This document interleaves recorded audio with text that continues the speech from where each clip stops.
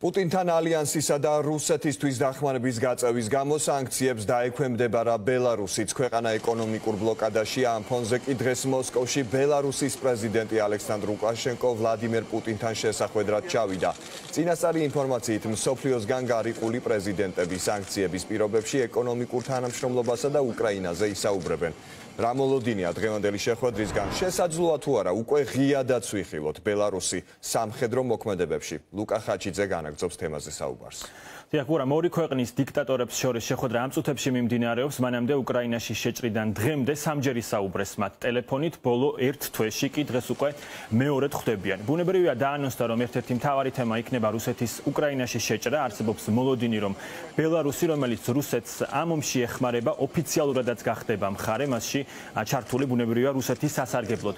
ეს ალბათ რამდენიმე წუთში გახდება ცნობილი როცა მოლაპარაკება დასრულდება. მანამდე ლუკაშენკო ირწმუნებოდა რომ უკრაინის წინააღმდეგ ბრძოლა ამას არ აპირებს. პარალელურად ცნობილი გახდა, რომ პუტინმა მწვანე შუქი აუნთო უკრაინასთან ომში უცხოელი მოხალისეების მონაწილეობას. რამდენიმე წუთის წინ პუტინი შეხვდა უშიშროების საბჭოს.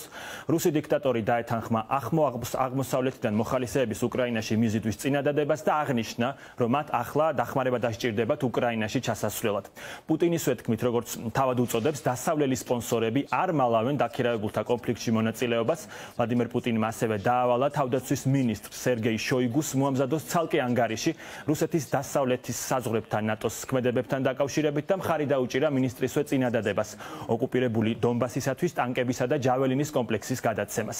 ეს მოცემულობა კი სრულიად ახალ ძალიან სერიოზულ რისკებს აჩენს ბუნებრივია. სავარაუდოდ თანხმობა დაქირავებულთა ომში ჩართვის შესახებ მაგალითად სხვებთან ერთად იგივე ჯარისკაცებს ბელარუსიდან მისცემს საშუალებას მონაწილეობა მიიღონ პროცესში და თან ისე რომ თითქოს ბელარუსი არ მონაწილეობს ამ თავდასხმაში. როგორც იცით, უკრაინის წინააღმდეგ ომში ლუკაშენკო პუტინს ეხმარება ეხმარება ბელარუსის საოკუპაციო ჯარებს უკრაინაში შეჭრაში დაეხმარა და ნებადართო თავდასხმისთვის ბელარუსის ტერიტორიაც გამოეყენებინათ.